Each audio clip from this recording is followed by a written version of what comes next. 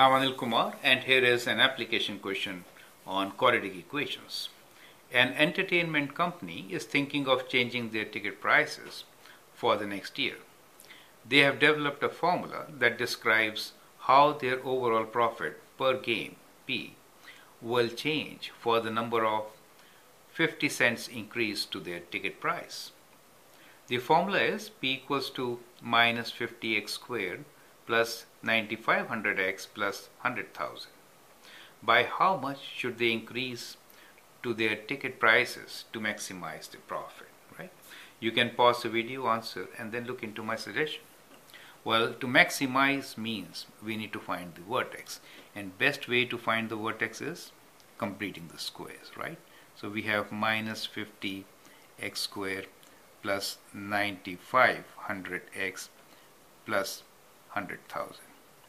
Now sometimes this question could be in objective type questions. In that case, uh, you know the axis is always at minus b by 2a, right? So we expect answer to be minus of 9500 divided by 2 times minus 50, right?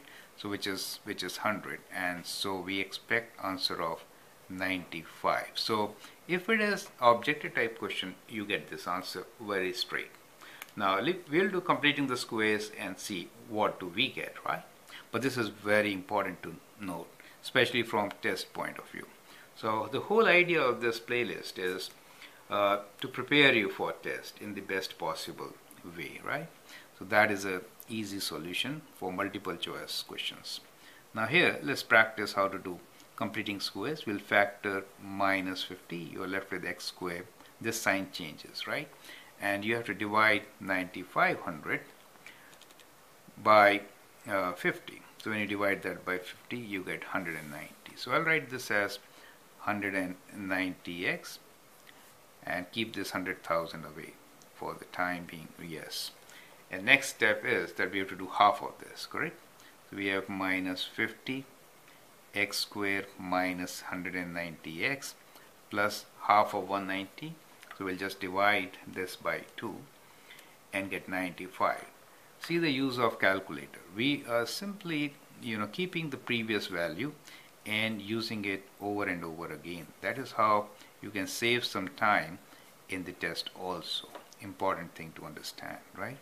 So 50 and you know these three terms they become perfect square and that step made it a perfect square correct? We can write this as x minus 95 whole square and then we have minus 95 square. So we already have 95 here. Anyway we can say answer square right? So or we can say 95 square it doesn't matter. Equals to 90 25 okay so minus 90 25 is what we get here plus 100,000 okay. Now we'll open the brackets. We get minus 50 x minus 95 whole square minus minus becomes plus. So we'll multiply 90 25 by 50 now. 45 1250 that is what we get right?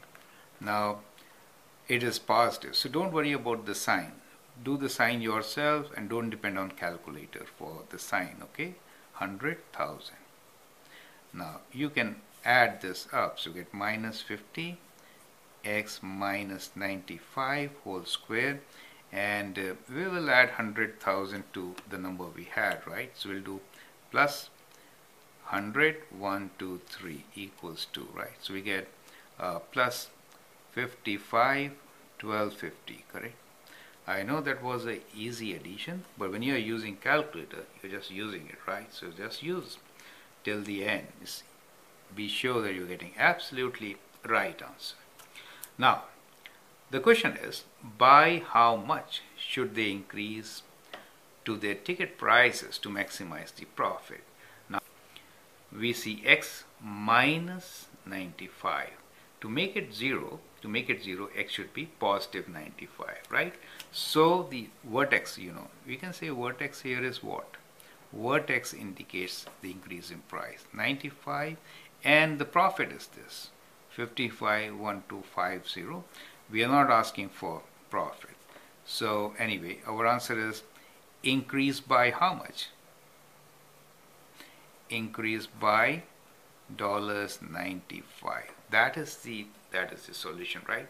What we see here is that the increase of $95 will maximize the profit.